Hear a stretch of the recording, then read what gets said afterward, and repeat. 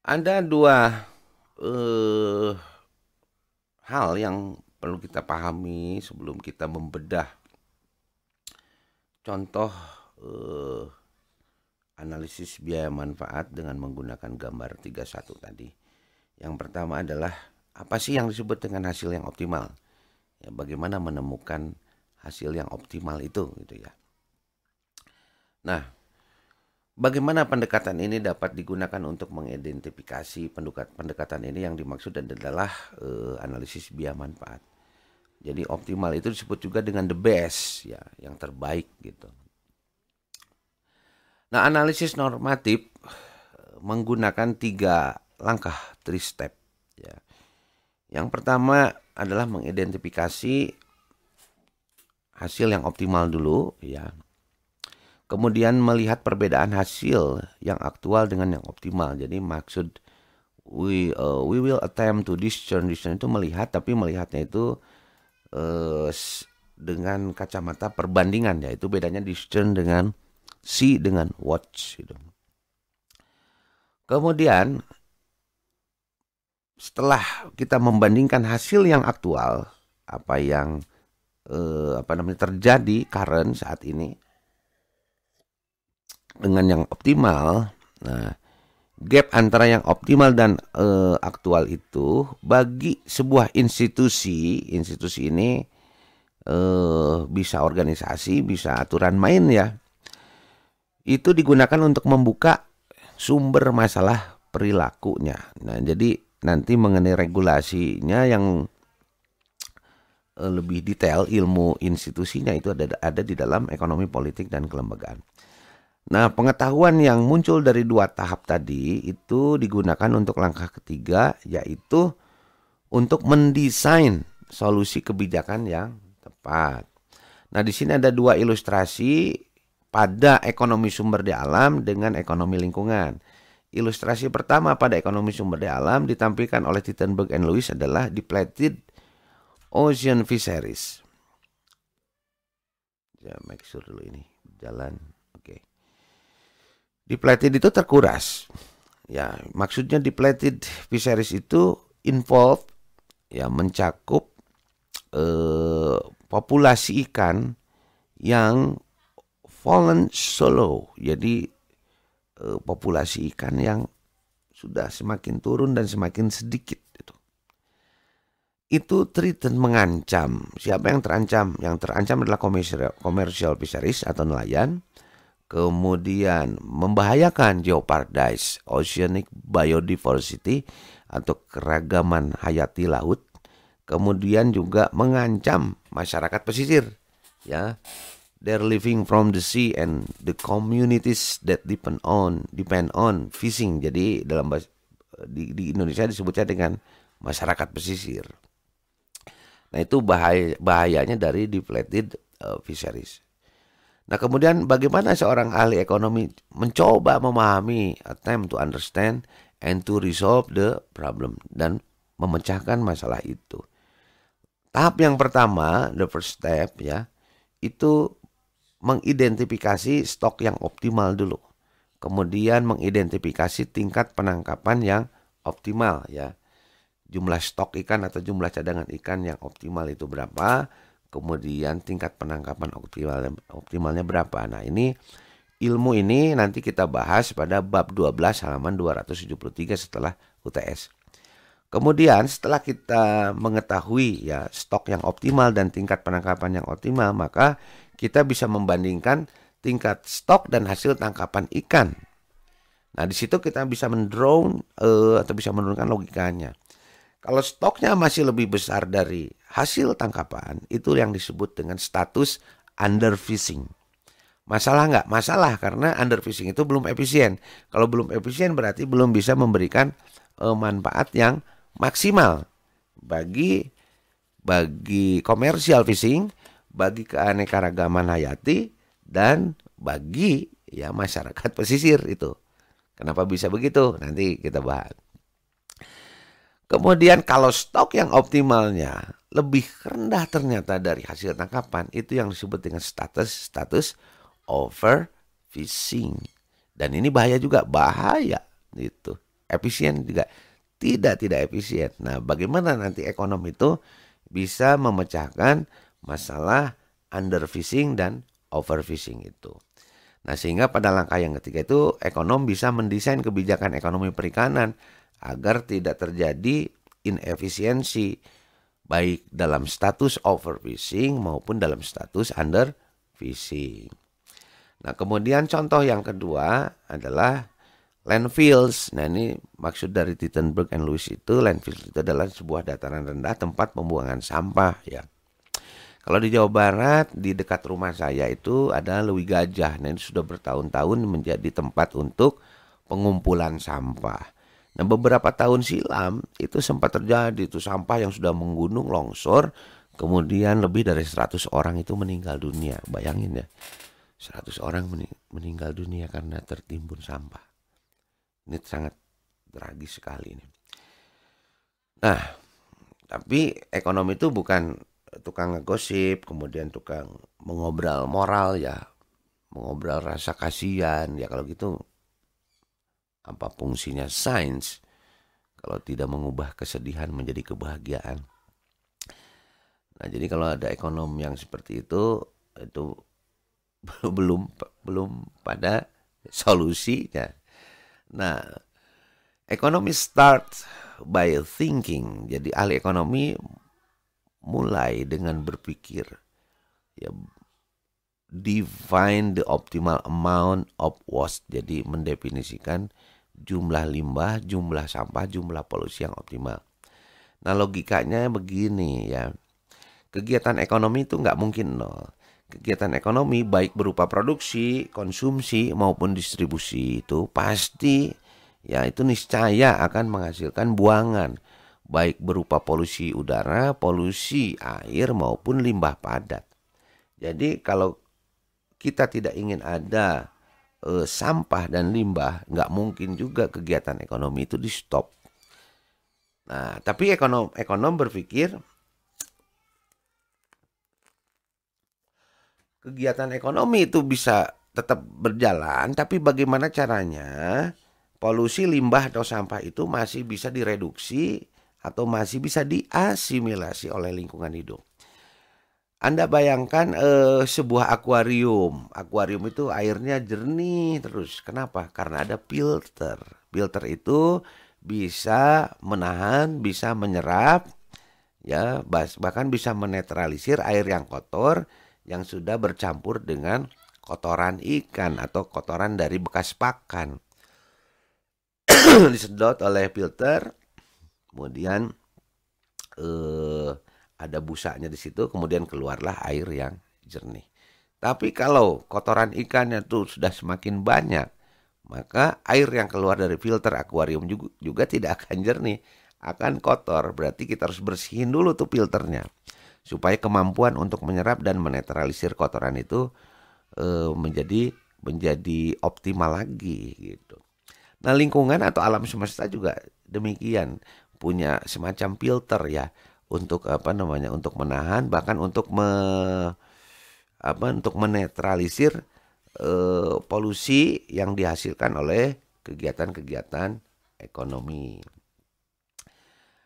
Nah, analisis biaya manfaat juga dapat digunakan untuk menyelesaikan atau meresolve masalah tersebut. Nanti kita pelajari detailnya di ekonomi pencemaran.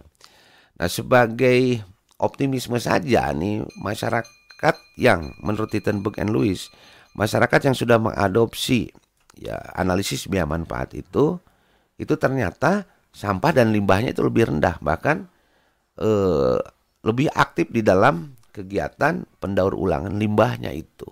Nah, jadi ilmu ini bagi beberapa masyarakat atau beberapa negara menurut Tittenberg and Lewis itu sudah menghasilkan manfaat ya untuk mereduksi sampah, limbah atau polusi dari kegiatan ekonomi. Nah, berikutnya apakah hasil yang optimal tadi itu punya arti efisiensi juga gitu ya atau menghasilkan sesuatu yang tidak mubajir ya. Nah, di sini barulah kita menggunakan alat peraga gambar tiga satu. Mana ya? Ah sorry.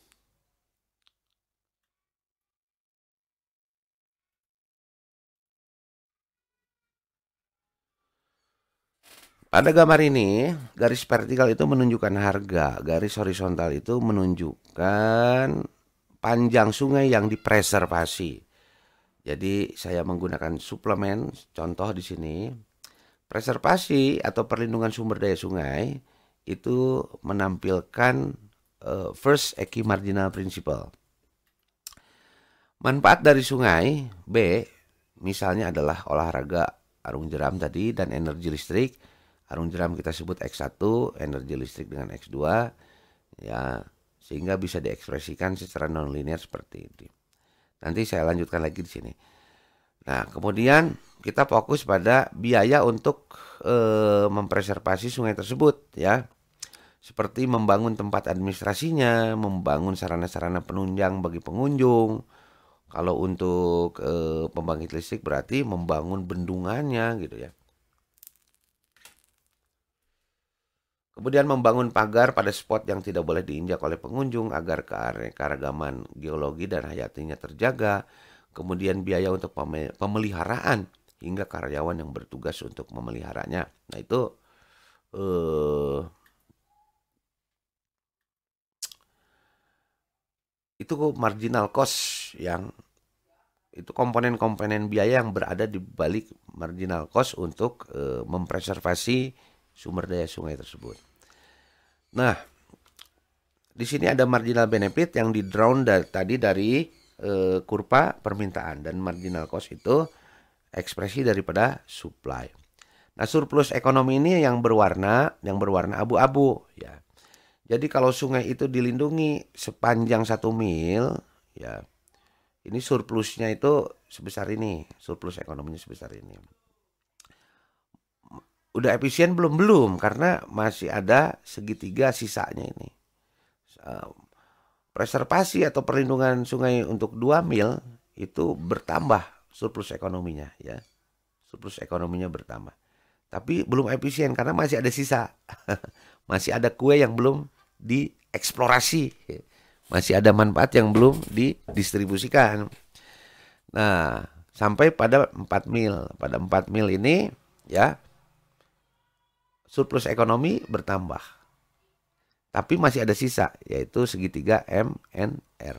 Nah, jadi konsep efisiensi itu eh, dalam ilmu ekonomi sumber daya alam dan lingkungan adalah eh, memaksimumkan net benefit ini ya, memaksimumkan net benefit ini. Kalau di sini adalah selisih antara marginal benefit dengan marginal cost berarti yang segitiga ini disebut uh, uh, uh, apa selisihnya ini disebut dengan marginal net benefit ya. Marginal net benefit. Nah ini karena masih ada ini masih belum disebut dengan efisien. Jadi preservasi atau perlindungan sungai yang efisien itu di sepanjang 5 mil. Karena di sini memenuhi prinsip efisiensi yaitu tambahan biayanya sama dengan tambahan man manfaat. Nah ini yang tadi disebut dengan uh, first Eki marginal principle gitu. Nah saya lanjutkan dengan suplemen ini. Nah ini adalah uh, fungsi manfaat dari X1 itu adalah arung jeram dan X2 itu adalah pembangkit listrik. Nah, ini adalah fungsi biayanya. Jadi biaya untuk pemeli untuk preservasi sungai itu mencakup biaya yang dikeluarkan untuk Tadi membangun tempat administrasi, membuat sarana penunjang dan seterusnya, serta opportunity cost. Jadi manfaat yang hilang kalau di eh, manfaat yang hilang, manfaat yang hilangnya itu adalah hilangnya manfaat dari pembangkit eh, listrik. Nah, kemudian dalam ekspresi Lagrang, ini saya tampilkan contoh seperti ini supaya Anda familiarize dengan eh, mikroekonomi yang sudah Anda pelajari ya supaya familiarize gitu. Nah ini adalah fungsi Lagrangnya, oke. Ini benefit kalau dalam mikro disebut dengan utility. Ini adalah fungsi biayanya. Kemudian turunan pertama ya perubahan Lagrang akibat dari perubahan x1. membacanya secara simbol seperti itu. Tapi maknanya adalah Lagrange itu kan eh, apa namanya net benefit ya. Ini benefit, ini cost. Jadi net benefit. Jadi perubahan net benefit akibat daripada ya penambahan preservasi sungai gitu. Ini turunannya seperti ini ya. Turunannya seperti ini. Kalau dengan Microsoft Word itu oh, sorry kalau dengan Microsoft Med ya Anda bisa lebih mudah. Nah, teman-teman yang sudah ikut lab kemarin itu bisa mempraktikkan nih sambil baca buku Tittenberg sambil juga digunakan tuh itunya apa uh, Microsoft Med-nya.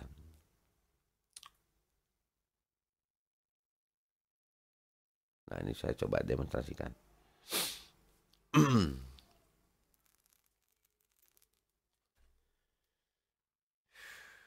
nah, sorry ya, agak loading nih.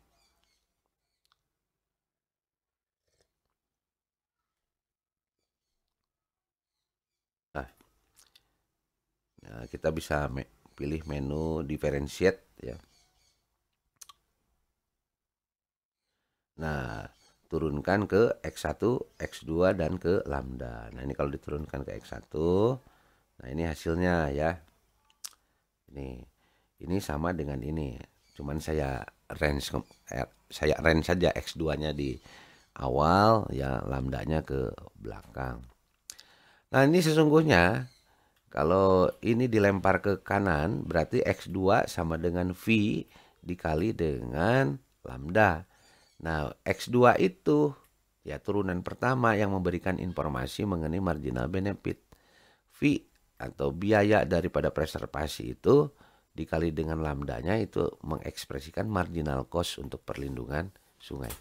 Nah, ini jadi turunan pertama itu bukan hitung-hitungan doang ya, ini menghasilkan prinsip ya. Inilah yang disebut dengan first equi marginal principle. Nah, dari sinilah kita bisa ya menentukan ya kondisi yang optimal. Jadi ekonom berikutnya ya dia melakukan penelitian, penelitian mengenai marginal cost, penelitian mengenai marginal benefit sehingga tadi eh, model mikronya tadi itu bisa lebih eksplisit dan bisa menghasilkan number dalam mengambil kepu keputusan. Nah inilah kenapa 5 mil itu disebut dengan hasil yang efisien dan optimal karena net benefitnya ya sudah maksimal. Masih bingung ya, masih bingung kenapa kok segitiganya hilang disebut maksimal. Nah, marginal benefit itu kenapa menurun dari kanan ke kiri itu bukan berarti benefitnya itu turun. Nah, saya memberikan contoh begini. Kalau kita suka kue, kue apa misalnya ya, kue susu Lembang misalnya. Kue yang pertama itu enak gila. Kue yang kedua enak banget. Kue yang ketiga sangat enak. Kue yang keempat enak. Kue yang kelima uh, udah kurang enak. Kue yang keenam uh, udah enak ya kenyang. Kue yang ketujuh kamerkaan kalau dalam bahasa Sunda.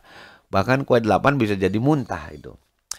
Jumlah kuenya delapan 8 potong, tapi ya tambahan benefitnya itu turun dari enak gila sampai ke kemerkaan itu loh maksudnya.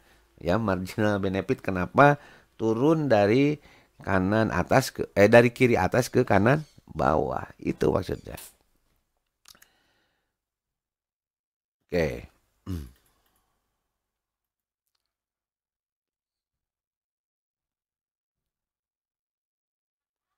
Nah, jadi itulah kenapa Tittenberg and Lewis menulis We know that 5 miles of preservation convey more net benefit than 4. Jadi menghasilkan manfaat yang lebih besar dari 4 mil tadi ya.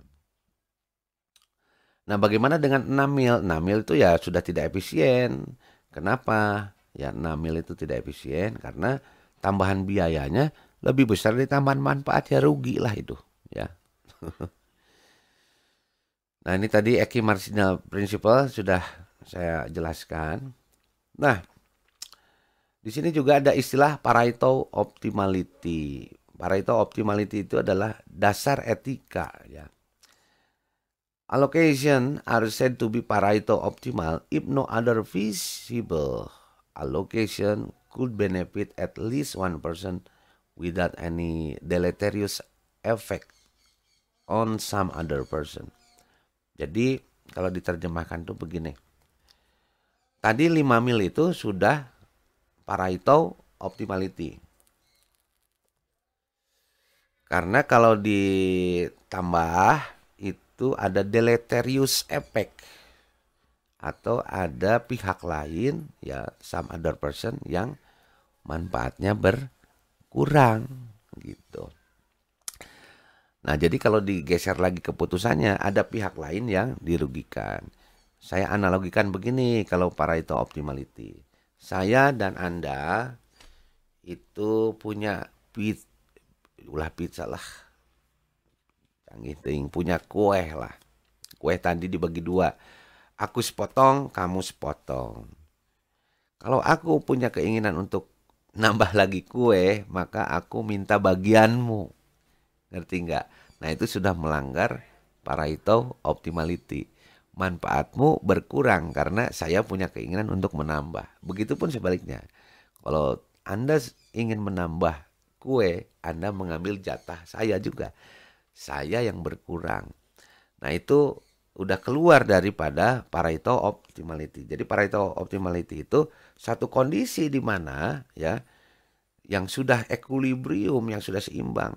Kalau terjadi pergeseran, ada pihak lain yang berkurang manfaatnya itu adalah Pareto optimality.